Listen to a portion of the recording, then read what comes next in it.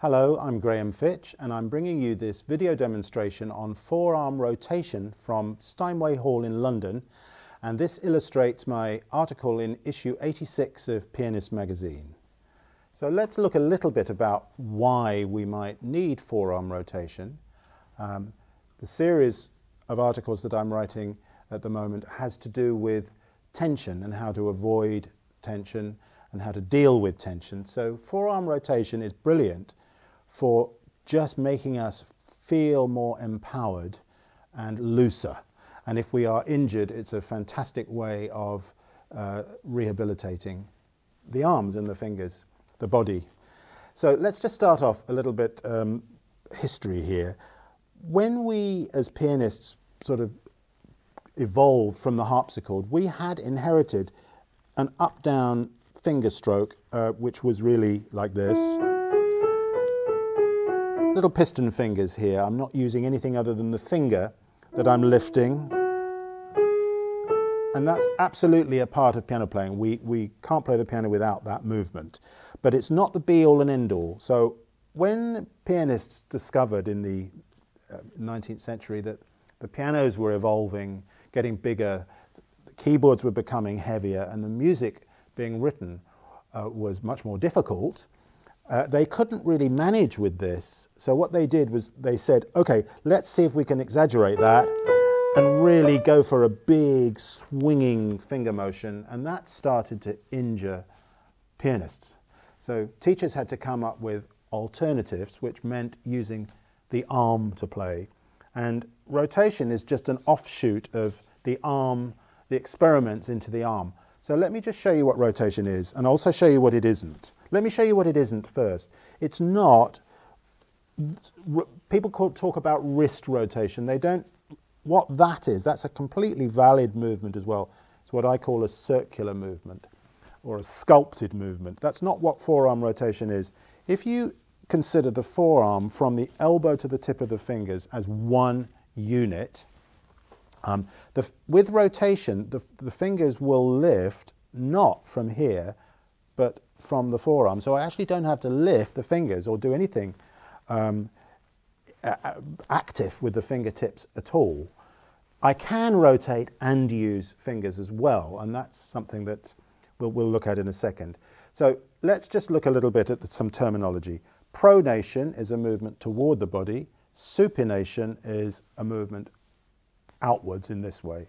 Now, the thing with the rotation is you'll see it the most clearly in examples with Alberti basses, trills, and tremolos. That's the most obvious, uh, well, they are the most obvious examples. So let me just give you a little bit of a um, demonstration from Mozart's Sonata in D, K284, toward the end of the exposition, where you'll see a trill and an Alberti bass happening at the same time.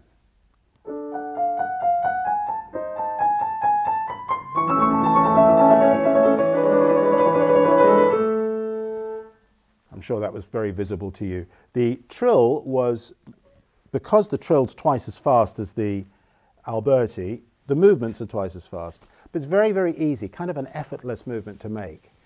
Now, uh, the, probably the most famous tremolo in the repertoire is the first movement of the Pathetique Sonata. So it would be perverse to do that any other way than rotary the way it feels when we play that, the elbow is in one spot.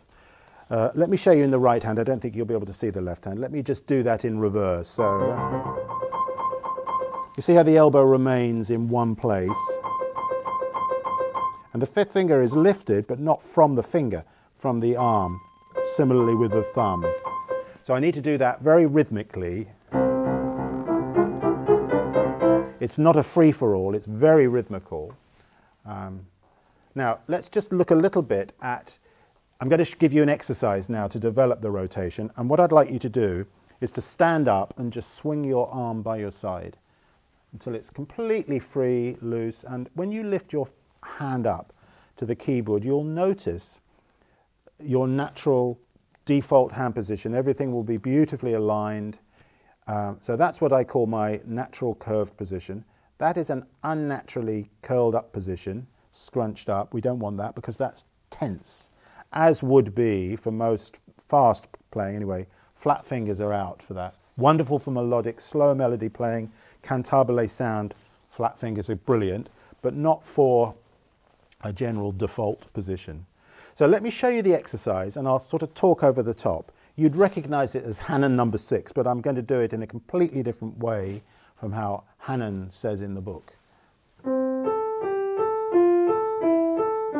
Now, I hope you'll notice that I'm making a couple of adjustments. As I go, as I need to put my thumb on the keyboard, I make an inward movement toward the back of the, the fallboard here.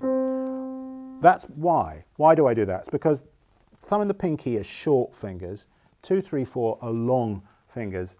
So if I don't want to, and I, I don't want to, get embroiled in this position uh, between the black and the white keys here, very uncomfortable. So if I didn't make the adjustment there, I would have to curl my fingers up in order to avoid that. Do you see what I'm doing there? In, out. And I'm in an out position when my long fingers are involved playing white keys. I do suggest that you transpose this exercise into maybe a couple of different keys. You don't need to do it in all 12, but...